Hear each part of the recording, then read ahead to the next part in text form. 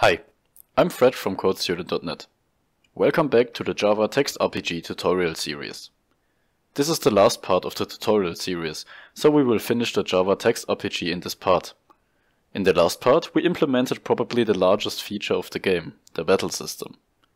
This part will be focused on creating the last things we need to finish the game and also adding the final battle to it. If you missed the last part, make sure to watch it now. Also, make sure to follow us on Instagram and Twitter for more interesting content you don't want to miss out on. This tutorial is also available in written format on codestudent.net. Just click on the first link in the description. In the last part of the series, we will implement quite a few new features. The player will be able to buy potions with gold and take rests to restore some health. For this, add three new integer variables to the player class and set them inside of the constructor. Feel free to experiment with the values. In the second part of this tutorial series, we created a method that prints out all the important information of the player. Let's add those new values we created in the player class. In the last part, we didn't finish the whole battle method. Now we are going to fix this.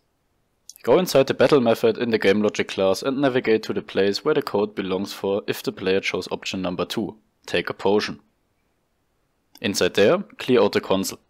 Use an if to check if the player has at least one potion and the player's HP are lower than the max HP value. If that's not the case, print a heading that tells the player that he or she can't take a potion right now and let the game wait until the player continues. If the player can actually use a potion, ask the player if he or she is sure about it. When a potion is consumed, set the player's HP to the max HP value and clear out the console. Then, write a heading that tells the player everything worked fine and the HP restored completely. Use the anything to continue method afterwards. The player needs gold to buy potions and only has a limited amount of rests to take. We want to give the player a chance after defeating an enemy to collect some gold or earn the chance of an additional rest. Therefore, go inside the battle method, right below where we print out how much XP the player gained from defeating the enemy. Create a boolean and an integer to store whether the player collected some gold or got an additional rest. Use two conditional statements to check if the player's gold or rests left values should be increased. If that's the case, increase the value and print an informational sentence to the screen. After the player crossed the Everlasting Mountains and therefore finished the first act, there will be a chance that a wandering trader shows up. The player can buy a potion from him if he or she has enough gold to pay for it. Create a method called shop inside the GameLogic class. Inside there, clear out the console and print a heading. Then, Calculate the price of the potion. Feel free to alter my formula. Print out the item's name and its price. And after that, prompt the player and ask if he or she wants to buy one. Get the user's input. If the player wants to buy the potion, clear the console and check if the player has enough gold. If that's the case, print a heading telling the player that it all went right and subtract the amount of gold. If the player has not enough gold, print a heading stating this. In both cases, use the anything to continue method at the end. The whole method should look something like this now. The last one of the random events is the opportunity for the player to take a rest. Write a method that deals with this. Inside this method, clear out the console and check if the player has enough rests left. If the player has less than one rest left, do nothing and let the game continue. If rests left is bigger than zero, print a heading asking the player if he or she wants to take a rest now. Get the user's input. If the player wants to rest, clear the console. Use a conditional statement to check if the player's HP is below the player's max HP value. If not, print out that resting isn't necessary here. If the player's HP have been reduced, calculate the number of HP restored. As always, feel free to change the numbers. Next, increase the player's HP by that amount. Check if the HP are now higher than the max HP. If that's the case, set HP equal to max HP. Then print a heading telling the player that the amount of health restored and also decrement the rests left value. At the end of the whole method, use the anything to continue method. The last battle of our game will be the epic fight between our player and the end boss, the evil emperor.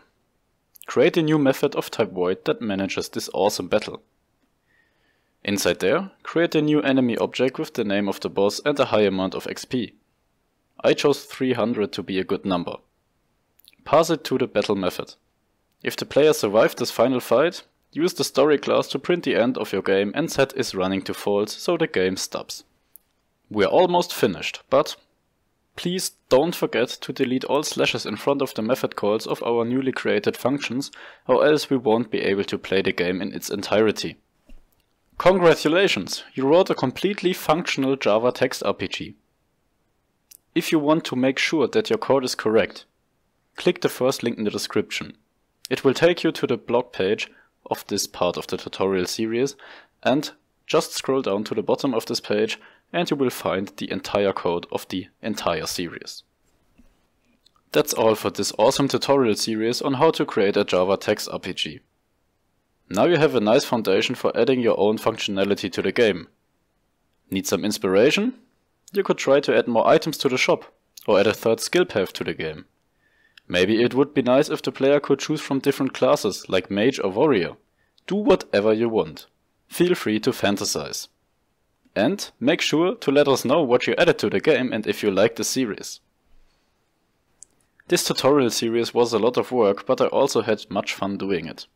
I would love to hear how you liked it, so please leave some feedback. Also, I would be interested in what you guys added to the game and make it even more fun. If you have any questions about this part or the whole Java Text RPG tutorial series, just ask us in the comments on Instagram or Twitter or simply send us an email. Please don't forget to subscribe to our YouTube channel and give this video a thumbs up if you like this series. I'm Fred from CodeStudent.net and I hope you enjoyed this video. Never stop learning and have a nice day.